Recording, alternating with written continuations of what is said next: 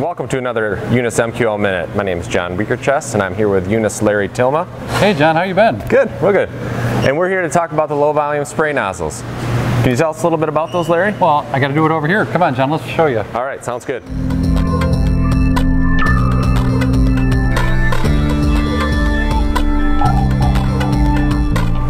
So Larry, I see that you brought in a low volume spray nozzle. Could you show us a little bit about it? You bet, John. Uh, as you can see here, this is our low volume spray nozzle. It has separate lines for both the fluid and the air that will be combined at the nozzle tip here. It also has different air adjustment and a different fluid adjustment. Uh, this particular setup also incorporates an articulated arm and a magnetic base option. One thing that makes the LV nozzle really stand out is the internal fluid mechanism that ensures that the on-off of the liquid is crisp and clean. Uh, this ensures that there is very little waste and the fluid gets to the right point all the time. The LV nozzle is actuated primarily with an air signal.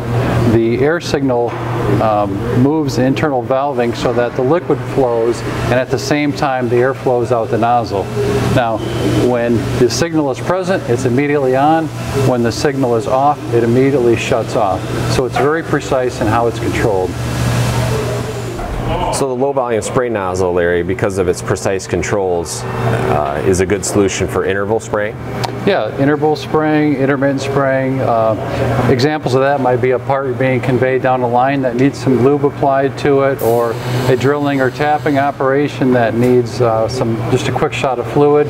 Um, but also, its control allows it to be used for continuous spraying, where people are applying water-soluble coolants, or cutting oils, uh, or perhaps even our Coolube 2210. Since the system is uh, air actuated and the flow of the fluid is actuated and starts only when air is on, you need to interrupt the air signal somehow. Now most people will do that with a uh, either a little manual on-off valve if it's a manual operation, or more commonly it's used with a solenoid valve which goes in line with the air supply so that when you turn the solenoid valve on or off, it delivers that crisp, no drip signal uh, or shot of fluid that we were talking about talking about earlier.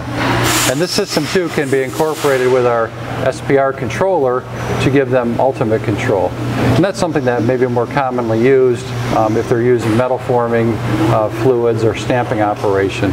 Here we've somewhat focused on using our LV nozzle in, uh, in metal cutting or assembly operations or things like that.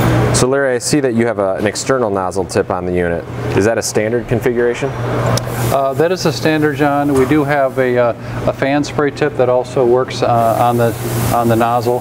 Also, we have an adapter which allows us to use our standard copper or uh, Loc-Line style flexible plastic nozzle to get things in real close and tight, especially if you're machining or doing something else where you need to get close. So Larry, you've showed our viewers the articulating arm and magnet and how that works. Are there any other options that are out there for the users to configure their systems? Sure. The customer can mount it directly to the bottom here. There are a couple different thread styles, M6 and quarter 20. Uh, and also, we have a modular mounting system which includes rods and uh, magnets and some clamps that allow them to build kind of an erector set kind of structure. They can mount a bunch of nozzles on either across the top or along the bottom to spray, you know, a coil or do any sort of spraying of, uh, of material. Well, Larry, thanks for uh, explaining a little bit about the uh, LV nozzles and how they work. Oh, sure. You're welcome, John. Now, how can our viewers find out a little bit more about the LV nozzle? Uh, the best place to go is to our website, uh, unist.com slash LV, as in low volume, unist.com slash LV, or call us on our 800 number, 800 253 5462.